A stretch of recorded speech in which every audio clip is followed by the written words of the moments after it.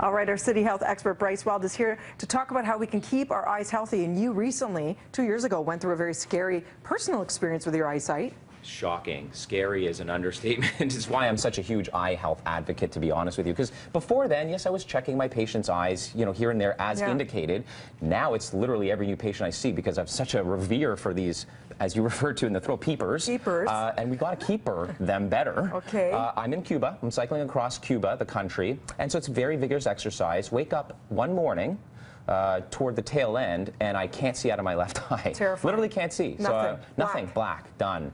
Freaking out. In a foreign Uh, country. I thought I had a stroke or some kind of a stroke or TIA, we call it. Yeah. Uh, about 10 minutes into that, I said, oh my gosh, I think I know what's happening, uh, which was what we call acute narrow angle glaucoma. So something that affects you right out of the. So I'll, I'll show you what It's not actually very happened. common, It isn't right? very good. Well, it's the least common of the glaucoma. So this is an eyeball, and if we open up the eye, Okay. uh, we have a posterior or behind and an anterior chamber. Okay. And it's got to circulate fluid around that in order to be healthy. Yeah. And that happens by these muscles in the front here in the iris, the color in our eye.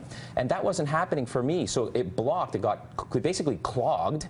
And that put a lot of pressure behind the eye and it basically affected the optic nerve. So you said nerve. it might have been because of your dehydration. A it might have been because you were wearing the, the protective, uh, what do you call it? Well, I was actually wearing a, an eye mask, An eye to- mask. To, block light. And that eye mask basically put a little bit more pressure than Sure. I probably should have had on my eye. Okay. And it put the pressure on the nerve, and I woke up and I could not see. So I freaked out. I ended up getting medical attention. I put a drop in there, and that relieved the pressure. When I got home here to Toronto, I actually had a little eye poking with a, a laser through my iris, and that's now rebalanced uh, the, uh, the, the fluid. the key is immediate treatment. You said if you let this go too long, you could have remained permanently, blind. Yeah. So shocking statistics in Canada that we actually experience over 5.5 million uh, cases every year, and we're high. getting worse. Over the next 10 years, we're actually going to be 30% more into eye disease. So these are glaucomas of the world. We talked about that. Diabetic retinopathy, which coincides along with obesity and the trends towards eating poorly. We'll talk Mm-hmm. about that. Uh, and retinitis. You know, all kinds of different diseases occurring. So Yeah. what can we do to protect our eyesight? Well, let's start with good food, right? So what we're looking at here is a bunch of greens, uh, fruits and vegetables, orange, yellow.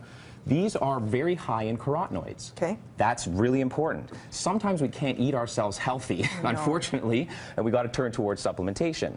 So what I'm talking about here is very, very high in lutein and Okay. zeaxanthin. Have you ever taken these things before? No, but I know lutein is in uh, cooked tomatoes, like tomato sauce, right? Bingo. And as an Italian, you got to eat more of that to get your. So guys with prostate issues got to eat more of this, but we're, Yes. we're talking about the eyes as well. So Yes. Preservision, the AREDS formula, this is by Bausch and Lomb. These guys put out a great formula that actually prevents age-related macular degeneration. Wow. Yeah, absolutely. And then this one, if you want some eye candy, literally, and figuratively, they put out a little gummy called Ocuvite. So a couple of these a day, and you're getting all of the necessary. For kids, And too? for kids too. Now, for contact lens wearers, you see the, the smartphones and computers are drying our eyes out. We're not blinking as much. The Ultra.